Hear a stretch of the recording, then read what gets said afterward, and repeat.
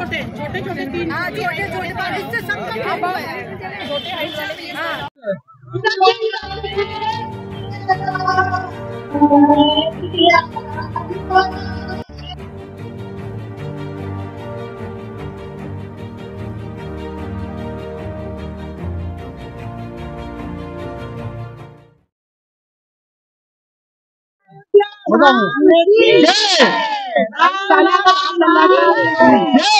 हो रही है महिला मोर्चा एक पूरे शहर में एक रैली निकालना और सबसे आह्वान करेगा। सभी लोग अपने घर पे मंदिरों पे साफ़ सफ़ाई करें और लाइटिंग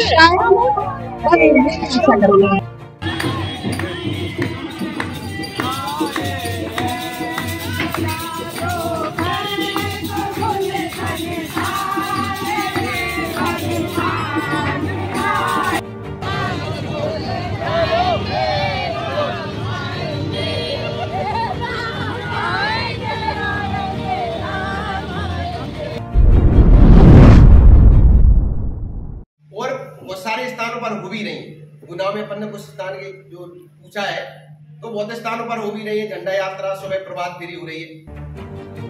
उसमें कहीं भी, किसी भी स्थान पे अगर मान के चलो कहीं कोई लोग नहीं भी पहुँच पा रहे तो अभी प्रशासनिक भी सीएम हाउस से मतलब उनका लेटर आया कि भाई सभी मंदिरों पर साज सज्जा होना चाहिए और सभी मंदिरों पर साफ़ सफ़ाई होना चाहिए।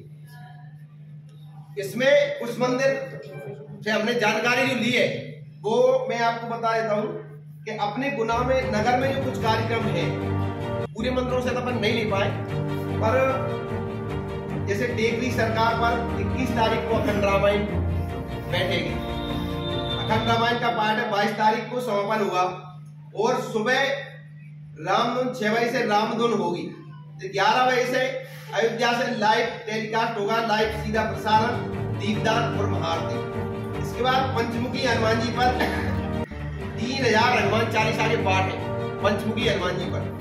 ग्यारह सौ सुंदरकांड के पाठ और ग्यारह हज़ार दीपदान और महाआरती का कार्यक्रम है, और लघु एक भंडारा बूढ़े बालाजी, मंदिर पर 21 तारीख को अखंड रामायण बैठेगी।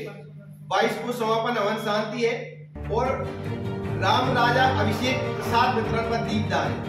हनुमंता मंदिर पर छह बजे से रामधुन है, ग्यारह बजे से अयोध्या से लाइव सीधा प्रसारण और सुंदरकांड का पाठ है। इसके बाद प्रसाद वितरण और शाम को 100 101 हनुमान चालीसा और रात को महाआरती का कार्यक्रम है। उदासी आश्रम मंदिर पर सुबह छह, दो सौ इक्यावन दीप यज्ञ और बारह बजे से पाँच बजे तक भंडारा। पशुपतिनाथ मंदिर पर रुद्राभिषेक सुबह से प्रारंभ हो जाएगा और रामधुन राम दरबार छप्पन भोग एवं इक्यावन हनुमान चालीसा एवं एक सौ इक्यावन दीपदान और संध्या में महाआरती का कार्यक्रम है। जयस्तंभ चौराहा मंदिर पर अखंड रामधुन, कीर्तन, भजन मंडली 11 बजे से अयोध्या से लाइव प्रसारण होगा। उस पर एलईडी लगाई जाएगी और प्रसाद वितरण और दीप यज्ञ शाम सूर्यमुखी मंदिर पर विशाल पालकी 12 बजे से ये मुख्य मार्गों से मुख्य मार्गों से होते हुए जाएगी सूर्यमुखी मंदिर से प्रारंभ होगी। जयस्तंभ चौराहा तेलगानी चौराहा हनुमान चौराहा हनुमान चौराहा से नीचे रिपटा और सदर बाज़ार होते हुए और वहाँ भी समापन। तो इस पालकी में सभी भाइयों से मेरा अनुरोध है, शहर से सभी अपने राम भक्त उसमें आके शामिल हो। मुख्यमार्गो से होते हुए अभिषेक और रामधुन, सुंदरकांड, कीर्तन, भजन मंडली। बजरंगल किला में हनुमान जी मंदिर पर अखंड रामायण बैठेगी कल। 21 को रामायण और 22 को हवन शांति एवं किले में राम जानकी मंदिर पर राम राजा अभिषेक, श्रृंगार, दीपदान और रामधुन पशु चिकित्सालय मंदिर पर रामधुन 21 को बैठेंगी और 22 को समापन होगा। तो इस तरह से पूरे देश के अंदर जो भगवान राम के लिए जन जन में विराजे और आज एक मैं और कहना चाहता हूँ मुझे जो देखने में मिल रहा है लोग पहले फिल्मी गाना गाते थे। आज दिन भर हर व्यक्ति राम के भजन गाता फिर रहा है। तो राममय हो गया, रामराज इसी का नाम है। लोग भूल गए, सब चीज़ें। और आज राममय हो गया, पूरा देश भव्यमय हो गया।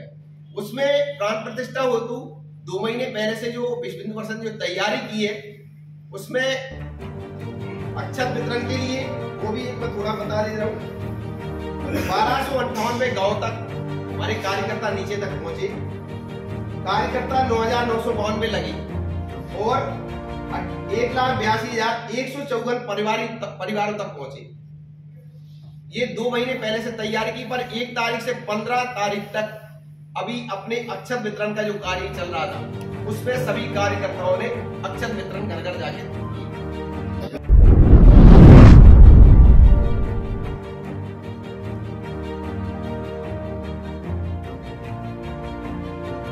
वही सगुन शुभ विविध विधि, बाजही गगन निशान, पूर्ण नर सनात करी, भवन चले भगवान। अर्थात अनेक प्रकार के शुभ सगुन हो रहे हैं। आकाश तक शोर कर देने वाले ढोल नगाड़े बज रहे हैं। पूरा देश सज रहा है। सृष्टि के समस्त प्राणियों को दर्शन देते हुए प्रभु श्री राम अपने महल की ओर प्रस्थान कर रहे हैं। साथियों, जय जय श्री राम अयोध्या नगरी में श्री राम लला के प्राण प्रतिष्ठा समारोह के भव्य एवं ऐतिहासिक अवसर पर समूचा विश्व इसे दीपावली त्योहार के रूप में मना रहा है।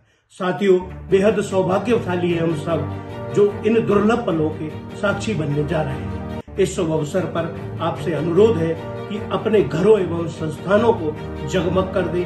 आतिशबाजी इतनी हो कि गूंज से सारा गगन गुंजायमान हो उठे। फूलों की महक से सारा वातावरण सुगंधित हो जाए, भजनों की धुन पे सारा शहर झूम उठे, दीप जलाए, रंगोली सजाए। जो जी करे, वह सब करे, प्रभु श्री राम जी के जश्न में डूब जाए। लेकिन इस पावन अवसर पर, धरती पर समस्त जीवित प्राणी अपने जीवित होने का प्रमाण अवश्य दे। धर्म की जय हो, अधर्मियों का नाश हो। जय जय श्री राम।